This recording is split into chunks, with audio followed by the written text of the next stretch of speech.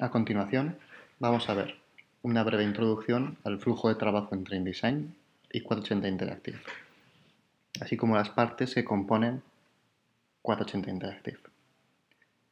¿Qué programas hacen falta? Pues InDesign CS5 superior y 480 Interactive que se compone de un plugin para InDesign, es un plugin que instalaremos dentro de InDesign y nos servirá para añadir efectos interactivos al proyecto y para exportar el InDesign en un formato especial para convertir en app.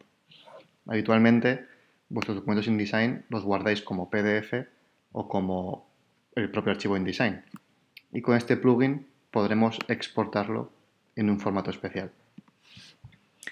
Además, tenemos un software para crear la aplicación. Este software se instala tanto en PC como Mac y lo que hace es abrir la exportación que hemos hecho antes y convertir el InDesign en una app.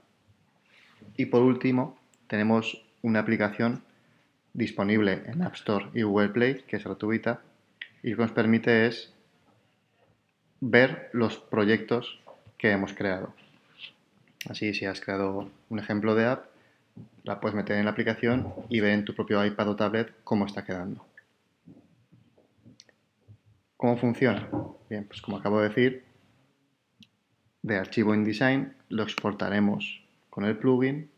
Esta exportación la abriremos con el software 480 Manager y el resultado lo podemos previsualizar en nuestra propia tablet o smartphone.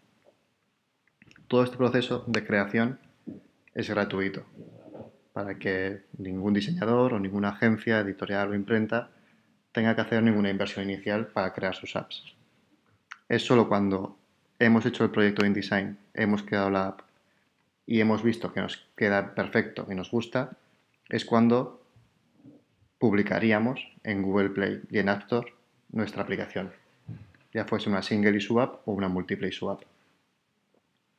Y es entonces cuando adquirimos una licencia de publicación. Y para publicar Simplemente el resultado final de este programa, cuando convirtáis InDesign en app, generará una carpeta.